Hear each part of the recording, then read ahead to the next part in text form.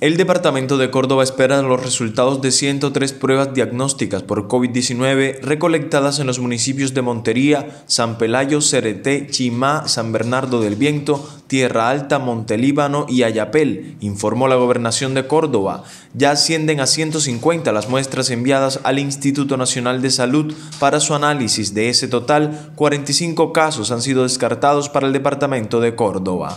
Cifras aportadas por el gobierno departamental detallan que hasta el momento 89 personas continúan en aislamiento preventivo obligatorio por sintomatología asociada. El equipo de respuesta inmediata de la Secretaría de Salud Departamental informa que hasta la fecha ha recibido cerca de 1.929 llamadas de asistencia de personas que han requerido algún tipo de orientación por el COVID-19.